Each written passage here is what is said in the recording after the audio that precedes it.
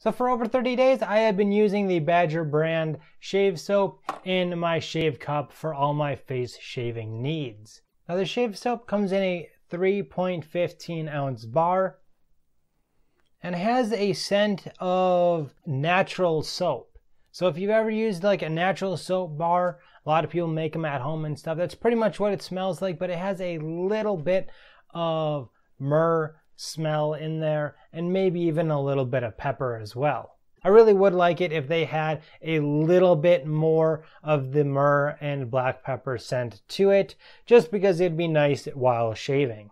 Now the way that I use the bar soaps is I just soak the brush in some warm water while I take a shower, and then I will kind of wring it out a little bit and just start moving it around in there to get my lather. Now they do suggest that you soak it with a little bit of water while you are washing your face or whatever in preparation to shave.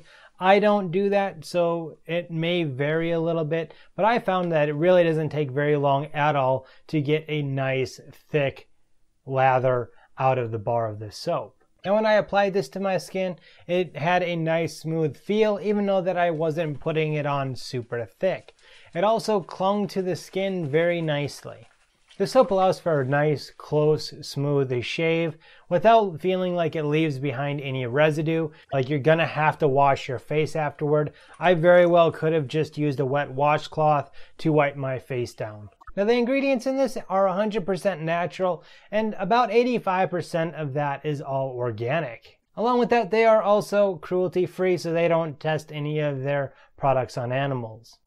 Now due to the coconut oil and aloe vera that they put in their bar of shave soap, it does leave your skin feeling nice and soft. Now the price of this is right around 11 to $12 depending on if you go from Amazon, which is a little bit lower than their actual site is at right about $12. I'd like to thank Badger for sending me out this uh, shave soap. And if you guys are looking for a really easy soap to turn into a nice rich lather, because you don't want to sit there for five minutes, I do suggest checking out Badger. I think they got pretty decent products and they seem to be pretty good on their customer service as well.